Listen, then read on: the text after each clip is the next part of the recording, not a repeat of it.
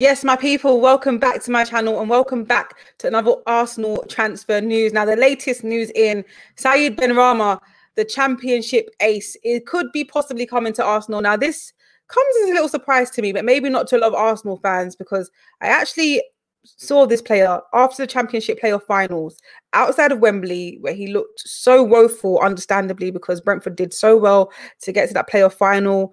They almost had it. They they done well in the lead up, and I, and even before the championship playoff final, you know, the performances they put in as a whole squad, they they could have got automatic promotion, and I'm I'm so upset for them that they let it slip on two occasions. Um, and then they had to rely on a championship playoff final to get promoted to the Premier League. And then they lost that game. They lost that game to Fulham. Um, and then after the game, I was outside Wembley, uh, bumped into him, and he was literally just standing on the street corner with a pizza in his hand, his phone in the other, waiting for his Uber, and he looked so sad, understandably. And I really, really wanted to have a conversation with him, really, you know, to kind of say, what's next? Like, Premier League, there's other options. You know, in my head, I was actually thinking Chelsea. Um, obviously, I wouldn't have said that to him, but that's what I would have thought his next move would be. But you know, in, in the in the heat of the moment, you just don't think. I should have just said, "Bro, come Arsenal, come Arsenal." But he didn't really want to speak. Um, I think he even said he doesn't speak the language because he just said bad. He just said bad, bad.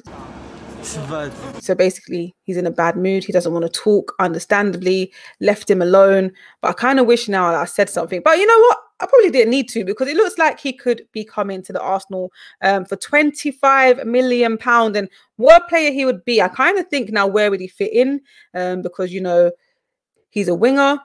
Uh, sometimes plays on the he plays on the left, doesn't he? And so we've got a Aubameyang that plays on the left, Willian that could possibly play on the left, Saka sometimes on the left. So where would uh, a young Benrahma fit into this Arsenal squad? What what position would he be in under Arteta? I mean, he done well for Brentford last season, involved in 20, 27 combined goals and assists in the championship.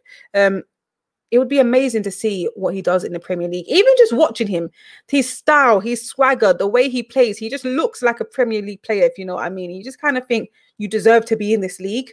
Somebody needs to nick you now. And sorry to any Brentford fans that could be watching this because this is probably their biggest worry. It was their biggest worry because I spoke to some Brentford fans before that game, and you know they said if we lose this final, we're going to lose Benrahma and a couple of other players, uh, Ollie Watkins. You know, so it's no surprise to me that we're going in for him. Actually, it kind of is because I'm like, wow, I'm liking the activity in this transfer window. I was not expecting it at all. What are your thoughts in Said Benrahma? What could he bring to Arsenal? And would he be a first first team player? Like, would he be a starter? Would he be, you know, rotational player? What would he What would he do for Arsenal? And how excited would you be to see him in an Arsenal shirt? Now, Benrahma wouldn't be the first person we've let's say signed from Brentford. We've, we've already taken their their coach Andreas Georgson. Uh, he's joined Arsenal. I mean, he's probably going to help help bring that deal over the line. You know, he knows Benrahma well. Obviously, he's coached with him, and of course, David Raya is a possible player that could be coming to Arsenal as well. We're going to be nicking some Brentford players. You saw it coming. I mean, when the league ended and we saw the teams that went down and we saw the teams that came up, you know, we was all saying, let's go in for uh Doucouré. Let's go in for some Watford players. Let's go in for some Brentford and some Norwich players because you know you'd think because they've gone down to the championship, well, Norwich has gone down and Brentford remain there. You'd think, okay, they'll be cheaper. But 25 million is a, is a high asking price, but you know, it's a I think it's a fair asking price for Benrahma. Um, I said, you know, when I met him that day, I said he, he kind of looks like a Chelsea player. I can't lie. And I'm pretty sure Chelsea are going to be in the firing line to, to, to land a deal with him as well. But let's see who gets it over the line first. I mean, I'm sure Arteta can, you know, Arteta's doing bits at the moment.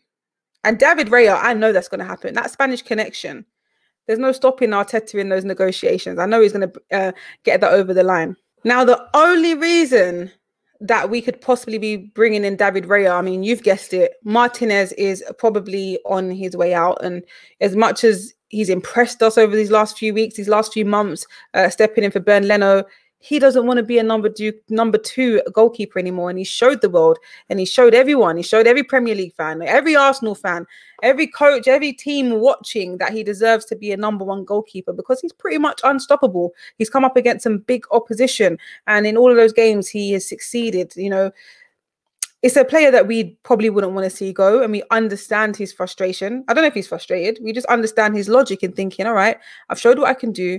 I'm probably not going to be the number one goalkeeper here because that's Leno's role, and it's Leno who's probably going to stay. That is that is the discussion at the moment. It's Leno that's going to stay at Arsenal.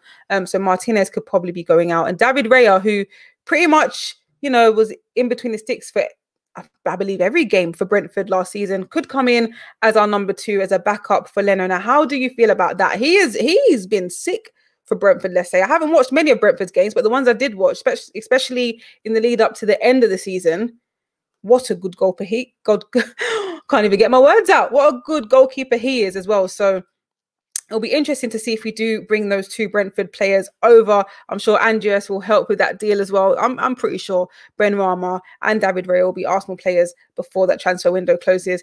What do you think in the comments down below? Do you think these are two players that we need to bring to Arsenal at the moment, or should we be concentrating on the roles that we keep on speaking about week in, week out, week out? That Thomas Partey deal, the Aouar deal, you know, all of these other midfielders that be coming in, Coutinho possibly. Now, the reason I believe we are going in for Said Benrahma is because originally it was supposed to be Coutinho in that role, but it doesn't look likely that we will get him anymore. And I mean, let's be serious, you know, 8-2 against Barcelona, Champions League winner. Are we are we really gonna get him? Let's be serious now. So I guess the more affordable option and the most realistic one is to bring Ben, Benrahma up from the Championship into the Premier League and join a big club in North London, the biggest club in North London, the biggest club in London. Let's say here comes the Charles, here comes the Chelsea fans, um, and he will join Arsenal. I think it is, you know, a very very good transfer. I believe it will happen within the next two weeks. I think it will happen next week, to be honest. Um, he's very eager to. I mean, I say this, I say this as if I spoke to him, but his body language said it all. He wants to be in the Premier League. I mean, who doesn't? He wants, he wants it. Trust me, I could just tell. But his whole body language is saying, "Nah, man, life ain't supposed to be like this. I'm supposed to be a Premier League player next season. Don't worry, Benrahma. You will be. You will be wearing one of these shirts. Well, not on the opening day of the league because we're against Fulham away. But you know, our next home game, you'll be wearing this shirt with pride as an Arsenal player. Um, what do you think aside Benrahma joining the Arsenal squad? Leave your comments down below, and I'll be back with some more transfer windows whilst this transfer window is open. Subscribe if you like them, and click the like button, and I will see you soon.